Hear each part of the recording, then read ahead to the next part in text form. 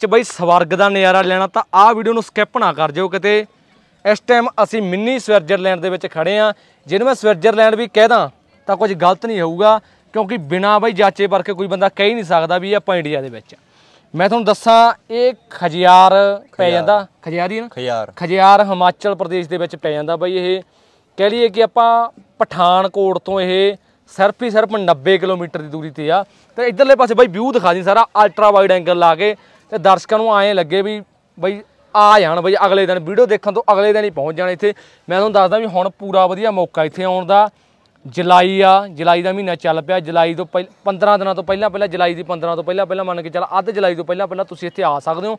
ਉਸ ਤੋਂ ਬਾਅਦ ਕਿਉਂਕਿ ਮੌਨਸੂਨ ਸ਼ੁਰੂ ਹੋ ਜਾਣੀ ਹੈ ਨਾ ਮੀਂਹ ਮੂੰਹ ਪੈਣ ਲੱਗ ਜਾਣੇ। ਅਸੀਂ ਵੀ ਸੌਰੀ ਥੋੜੀ ਵੀਡੀਓ ਬਣਾਉਣ 'ਚ ਥੋੜੇ ਲੇਟ ਹੋ ਗਏ। ਬਾਕੀ ਤੁਹਾਨੂੰ ਦਿਖਾਉਣੇ ਆ। ਇਧਰਲੇ ਪਾਸੇ ਬਈ ਦਿਖਾ। ਦੇਖੋ ਕਮਾਲ ਦੀ ਗੱਲਬਾਤ ਹੋਈ ਪਈ ਆ ਯਾਰ ਇਧਰਲੇ ਪਾਸੇ। ਬਈ ਸਾਰਾ ਘੁੰਮ ਕੇ ਦਿਖਾ ਦੀ ਤੇ ਤੁਹਾਨੂੰ ਮੈਂ ਸਾਰਾ ਖਰਚਾ ਵੀ ਤੁਹਾਨੂੰ ਗਿਣਾ ਦਿੰਨੇ ਆ ਵੀ ਕਿੰਨੇ ਖਰਚੇ ਦੇ ਵਿੱਚ ਅਸੀਂ ਇੱਥੇ ਪਹੁੰਚ ਗਏ। ਉਧਰਲੇ ਪਾਸੇ ਟੂਰਿਸਟ ਦੇਖੋ ਬਈ ਕਿੰਨੇ ਆ। ਤੇ ਗੱਡੀਆਂ ਦੀ ਲਾਈਨ ਦਿਖਾ ਦੀ ਬਈ ਗੱਡੀਆਂ ਕਿੰਨੀਆਂ ਖੜੀਆਂ ਇੱਥੇ।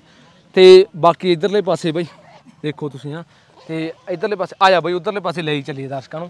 ਤੇ ਤੁਹਾਨੂੰ ਮੈਂ ਦੱਸ ਦਿੰਨਾ ਵੀ ਘੱਟੋ ਘੱਟ ਆਪਣਾ ਗੱਡੀ ਨੇ ਮੋਗੇ ਤੋਂ ਲੈ ਕੇ ਮੋਗੇ ਤੋਂ ਆਪਾਂ ਪਿੰਡੋਂ ਤੁਰੇ ਸੀ ਨਾ? ਹਾਂ। ਪਿੰਡੋਂ ਤੁਰ ਕੇ ਆਪਣੀ ਗੱਡੀ ਨੇ ਤੇਲ ਖਾਦਾ ਬਈ ਘੱਟੋ ਘੱਟ 3000 ਦਾ ਨਾ। ਬਈ ਜਾ- ਜਾਣ ਆਉਣ ਹੋ ਜਾਊਗਾ। ਜਾਣ ਹੁਣ 3000 ਦੇ ਵਿੱਚ ਜਾਣ ਹੁਣ ਹੋ ਜਾਊਗਾ। ਤੇ ਬਾਕੀ ਮੈਂ ਤਾਂ ਇਹ ਕਹਿਣਾ ਵੀ ਆਪਾਂ ਮਨਾਲੀ ਲੇ ਇਹ ਸਭ ਥਾਵਾਂ 'ਚ ਜਾਣ ਤੋਂ ਗਰੇਜ ਕਰੀਏ। ਇੱਥੇ ਇੱਥੇ ਆਓ। ਇੱਥੇ ਆਓ। ਕਿੰਨੇ ਕਿਲੋਮੀਟਰ ਪੈਂਦਾ? ਆਪਣੇ ਪਿੰਡੋਂ ਕਹਿ ਲਈਏ ਧੁਰ ਤੋਂ। ਆਪਣੇ ਪਿੰਡ 240 45 240 ਕਿਲੋਮੀਟਰ ਪੈਂਦਾ। ਬਾਈ 240 45 ਕਿਲੋਮੀਟਰ ਪੈਂਦਾ। ਤੇ 240 45 ਕਿਲੋਮੀਟਰ ਪੈਂਦਾ। ਮੈਨੂੰ ਨਹੀਂ ਲੱਗਦਾ ਇਹ ਚਾਰ ਜਾਣੇ ਆ ਬਾਈ। ਚਾਰ ਜਾਣੇ ਅਸੀਂ 5-5000 ਦਾ ਐਸਟੀਮੇਟ ਲਾਇਆ 5-5000 ਰੁਪਏ ਸਾਡਾ ਲੱਗੂਗਾ। ਪਰ ਤੁਹਾਨੂੰ ਸਹੀ ਗੱਲ ਦੱਸ ਦਈਏ ਵੀ ਸਾਡੇ ਰੁਪਏ ਸਿਰਫ ਹੀ ਮੇਰੇ ਖਿਆਲ ਨਾਲ 2500 ਰੁਪਏ ਇੱਕ ਜਣੇ ਦਾ ਖਰਚਾ। ਹਾਂ। ਅਸੀਂ 5000 ਦਾ ਲਾਈ ਪਰ ਸਾਡਾ 2500 ਰੁਪਏ ਆਊਗਾ ਖਰਚਾ ਜੇ ਹਿਸਾਬ ਨਾਲ ਹੈਗਾ ਨਾ ਕਿਉਂਕਿ ਸਾਨੂੰ ਰੂਮ ਬਾਈ 12-1300 ਰੁਪਏ ਦੇ ਵਿੱਚ ਰੂਮ ਮਿਲ ਗਿਆ। ਤੇ ਬਾਕੀ ਗੱਲ ਕਰੀਏ ਆਪਣਾ ਸਿਸਟਮ। ਖਾਣ ਪੀਣ ਦਾ ਵੀ ਸਿਸਟਮ ਬਾਹਲਾ ਸਹੀ ਨਹੀਂ ਗਈ ਸੀ। ਵੈਸੇ ਨਾਲ ਵੀ ਲੈ ਕੇ ਆਏ ਸੀ ਸਮਾਨ ਆਪਦਾ। ਪਰ ਚੱਕਰ ਇਹ ਆ ਵੀ ਖਾਣ ਪੀਣ ਸਾਨੂੰ ਕੋਈ ਬਾਹਲਾ ਮਹਿੰਗਾ ਨਹੀਂ ਪਿਆ ਇੱਥੇ। ਹਾਂ। ਸਿਸਟਮ ਠੀਕ ਆ ਸਾਰਾ।